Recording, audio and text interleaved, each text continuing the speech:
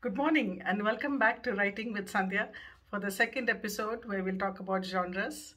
But before we get into that, uh, thank you very, very much uh, for all your support and encouragement when episode one came out. Thank you for all the likes and the subscriptions.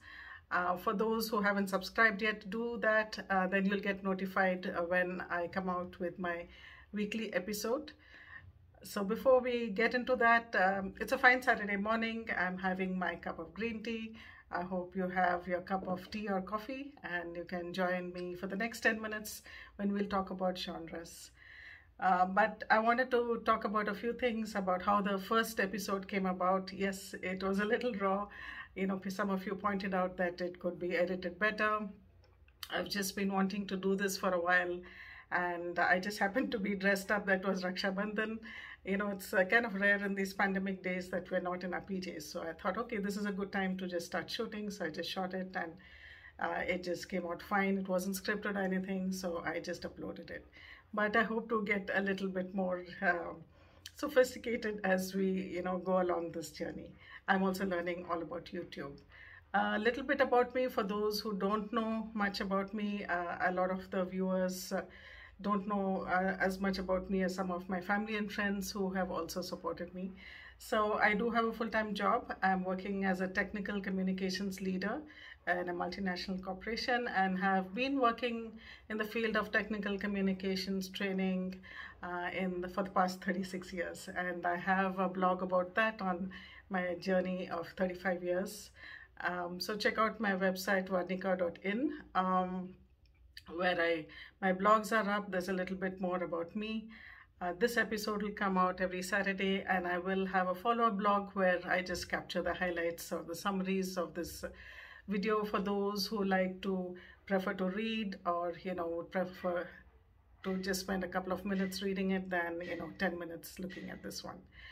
So about the writing journey, um, so the Mia Finds a Home is a ch illustrated children's book which I published along with my illustrator Piali, and I'll talk more about that in future subsequent you know kind of issues. Uh, Burma to Bangalore is my father's uh, autobiography. As I mentioned, his name Colonel V.S. Ranganathan, who's retired. So he debuted as uh, when he was 88 years old. So yes, I think as Reena mentioned, uh, it's never too late to start writing. Age doesn't really matter. And then this is such a profession, you can pick it up anytime or a hobby, if you will, and you know, just right up to your old age, you can keep writing as long as you have your faculties about you. Uh, so the book, um, um I'm represented by the book bakers. So huge thanks to Suhail Mathur, who's my agent, and um, Locksley Hall Publishing, who uh, believed in the book and published it, and uh, you know, to everybody who supported it outside our friends and family, who are our initial target audience. Uh, so that was an amazing journey. And again, in subsequent uh, episodes, I'll talk more about how to craft, you know, those kind of books as we go along. So genres, what are genres? So genres are, uh, you know, the what category of books, uh, you know, uh, books fall into. I think all of you are aware of fiction and non-fiction. So fiction is something which we create, it's out of our imagination. And non-fiction is facts, it's reality. It's about actual things that happen to actual people in actual places. Um, it could be current, it could be in the past. Um, so that is non-fiction, and I think we are all familiar with that. So why does it matter? So when I started on this publishing journey, uh, my book, which is going to be out next year, uh, we were trying to figure out where to, you know, categorize it. So if you go to Amazon, uh, if you scroll down in the product description, you'll see that where the book is categorized, any book, right? So whether it's under uh, autobiography, whether it's fiction or nonfiction, those things matter if you want to be a published author you know where it comes in terms of ranking. So that's one thing. And publishers also care about it because uh, uh, you know publish certain publishers publish only certain types of books. So if you've written a certain kind of thing you need to know whom to go to whom to approach for that kind of book or that kind of writing. So it does matter. And it also helps you when you write to help you focus that this is what uh, this is your market or your audience and this is whom you're writing to. So it helps you also as a writer right? So i think um, so that's where it's helpful. And it also may give you inspiration on what kinds of things you may want to write about. I think one of the uh, viewers asked are there what are the different kinds of writing can we get into besides fiction? So we will talk about that briefly. Uh, today i'll give you an overview about it. And in subsequent episodes we'll go uh, you know into a little bit more detail and all of it and really there's inspiration all around you know so uh, Let's start with fiction. That's something we're all familiar with. So the three books that we read about life and which people um, write, a um, lot of them will fall under the category of mainstream. So that's mainstream fiction. And within that, there are so many uh, genres, uh, mystery or, uh, you know, the detective stories that we all enjoy. And of course, Agatha Christie is the all-time uh, great over there and holds a record uh, still for, you know, uh, being uh, the one of the largest you know published author with and been so prolific. So um, that's a genre by itself. Uh, romance is a huge genre. It is a big market and you know caters to a certain audience uh, there's speculative fiction um, and there are a lot of subgenres here so in subsequent episodes i'll talk about the subgenres as well and my book falls a little bit into mainstream speculative fiction there's a lot of historical fiction that we've been reading of late, so and that's uh, highly interesting. And um, so there is that as well.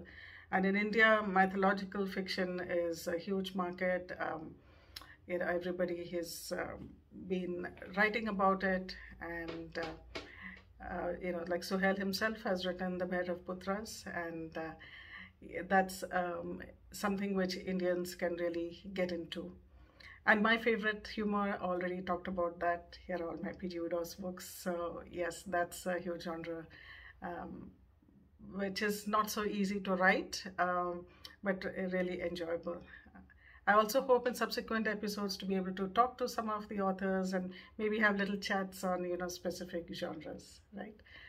Um, so there's mainstream fiction and then there's literary fiction. So literary fiction is when you have the language. The only change you can have literary fiction in all these genres, but it's just the the language, the treatment, and all of that is just a lot more, um, you know, kind of pro professional. It's a lot more uh, sophisticated, and uh, it's it's good writing. You know? So I think a lot of things that we learn in literature, whether it's in school or college, that would fall under you know literary fiction.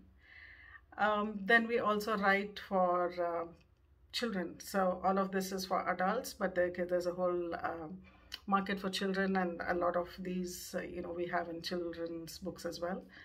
And young adult, that is another, you know, target market, and uh, they go for different kind of, um, you know, different uh, treatment and language. Uh, vampire books seem to be very popular.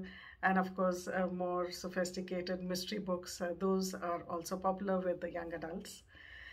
So that's a, a, little bit about fiction genres. Non-fiction there are just so many. I don't know where to begin. Of course um, my book uh, biography and um, so I have also kind of cleaned up my channel a little bit. So if you see below my channel, you'll see a few short videos on the Mia Finds a Home and uh, then the Burma to Bangalore book launch. And it was mainly for the family, but now all the videos are out. So if you like, you know, go ahead and check them out and enjoy.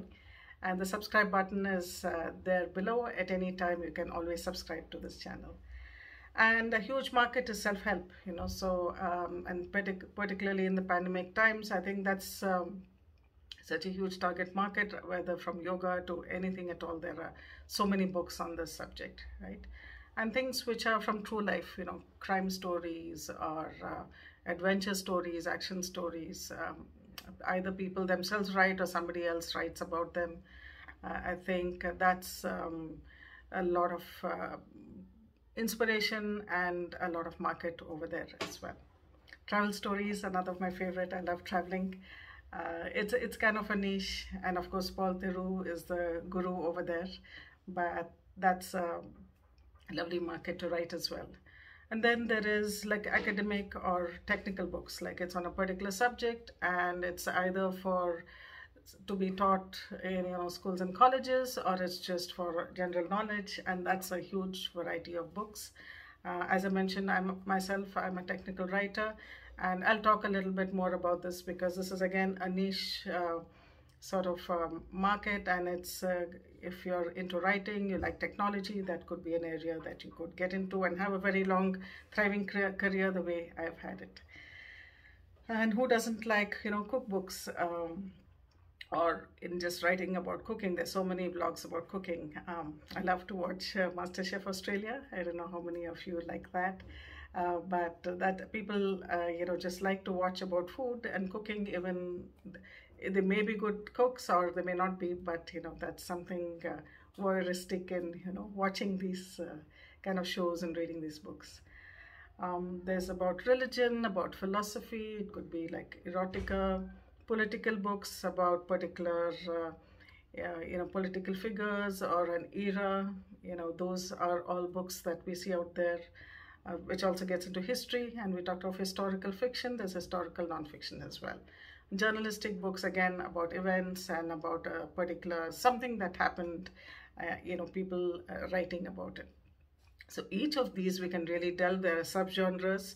So in the, my next episode i'll talk about uh, fiction and the one after that about nonfiction. And after that, I will start delving into some of the genres before I start talking about the craft of writing. Um, so people have also asked, am I a teacher?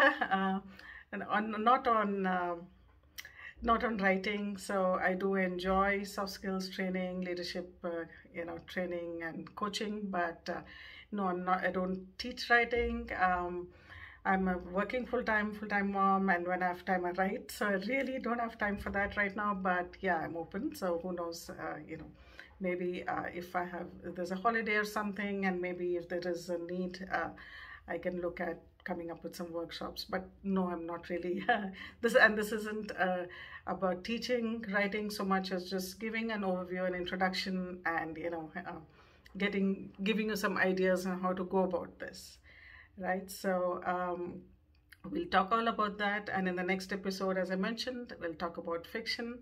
So join back and do like, comment, share, subscribe, uh, and let me know what you would like to hear about. And uh, we'll talk about that in subsequent episodes. So see you next time. Bye.